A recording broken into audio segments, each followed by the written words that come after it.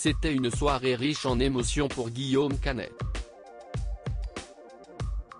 Ce dimanche 15 janvier, le réalisateur et acteur principal d'Astérix et Obélix, l'Empire du Milieu avait donné rendez-vous à toute l'équipe du film et au public pour l'avant-première au Grand Rex, mythique salle de cinéma parisienne.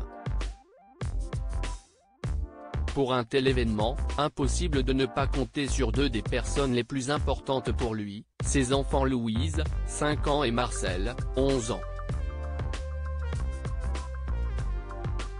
Dans une vidéo enregistrée par le compte officiel de 50 Minutes Inside, émission diffusée sur TF1, sur TikTok, on découvre Guillaume Canet, fébrile sur scène devant tous les spectateurs, adresser un discours de remerciement à tous ceux qui l'ont aidé à la réalisation du projet, en n'oubliant pas sa progéniture, présente dans l'Assemblée, je voudrais remercier mes deux enfants Louise et Marcel, leur dire que je les aime tellement fort. Si est pour vous aussi que j'ai fait évidemment ce film et que j'ai eu tellement plaisir aussi à partager ça et à partager cette aventure avec vous sur le tournage.